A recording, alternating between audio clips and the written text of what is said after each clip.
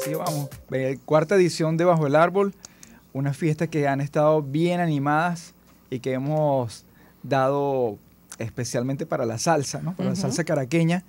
Y bueno, este, en esta oportunidad con una banda que es legendaria dentro del mundo de la salsa en Caracas, que es el grupo Mango.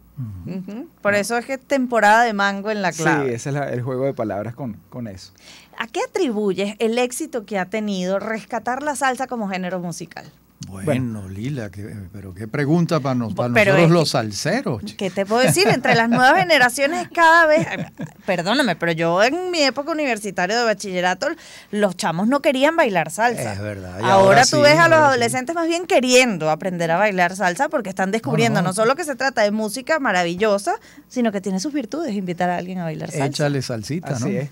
Bueno, fíjate, la, la cuestión no es que estamos rescatando la salsa, sino que estamos haciendo una fiesta especial para la salsa, porque la salsa siempre ha estado existiendo en Caracas, estos músicos han estado tocando, pero lo que estamos haciendo es darle relevancia a cómo hacerlo para, para su presentación, porque están acostumbrados a tocar en sitios muy pequeños, sitios muy apretados, quizás sitios que no tienen las condiciones, pero la gente va.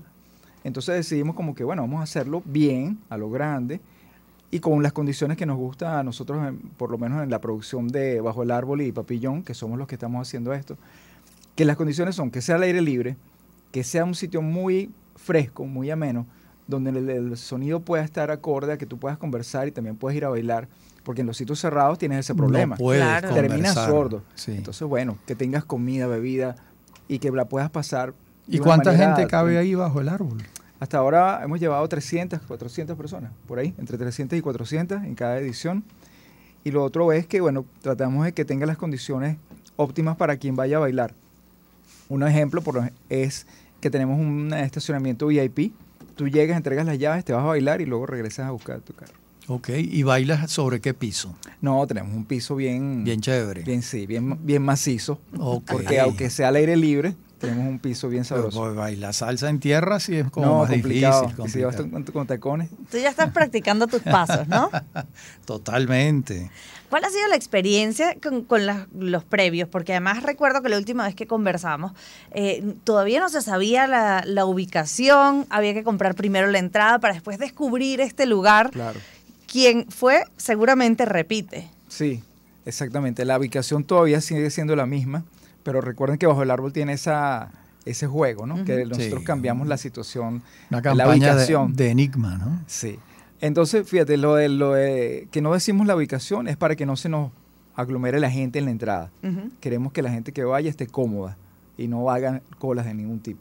Entonces, esa es una de las maneras que aprovechamos a decirle a la gente, aproveche y compre su entrada y ya se agotaron las preventas. Los eso es una, buena, una buena manera de... Eso lo agradecemos, no sabes cómo, porque aquí no puede... Una gente ve una cola porque se pega ahí, ¿no? Sí. Entonces, no hacer cola, bueno, ya eso es... Eso es lo que no queremos. no nos gusta a pues. nosotros, no queremos que la gente lo pase. Claro. Y si la ubicación es maravillosa, es al aire libre, en un bosque, dentro de Caracas, no hay que rodar mucho. Pero además tiene una particularidad porque siempre incluyen cosas vinculadas al arte. No es solo un lugar bonito, sino que además hacen de ese sitio un sitio en el que en el que la música está presente, pero también las artes plásticas, también otro tipo de manifestaciones que, que hacen de eso una experiencia integral. Sí, fíjate, nosotros desde, desde el principio, desde que empezó Bajo el Árbol, siempre hay un invitado de artes plásticas, porque son pocos los sitios para los nuevos artistas este, las galerías tienen una programación como de un año entero. Si tratas de buscar una, eh, hacer algo, un espacio, es difícil. Entonces nosotros nos escriben muchos amigos, mucha gente para presentar sus proyectos. En este caso vamos a tener dos artistas visuales. Uno es Juan Olmedillo, que aunque es cantante de los Mentas, también hace visuales.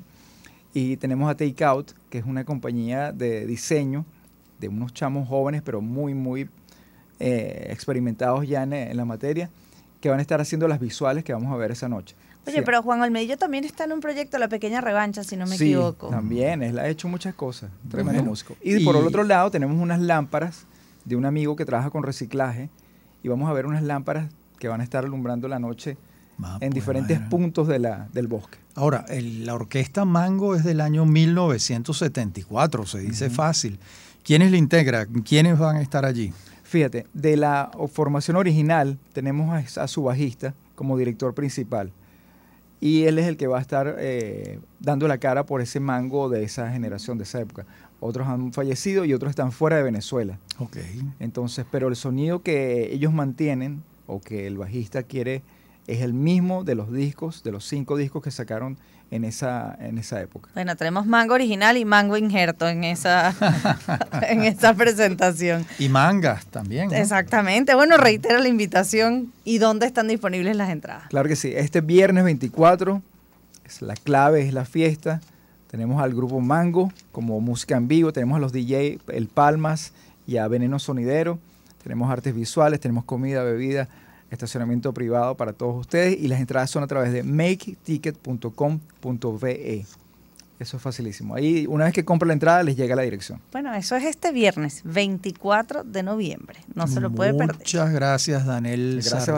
Además, para conseguirse a Rafaela Raiz Luca con Va- sus ey, pasos de salsa ey. en la pista de baile. Así es, echando un pie. Y mientras tanto, vamos a escuchar a Terciopelados cantando Bolero Falaz.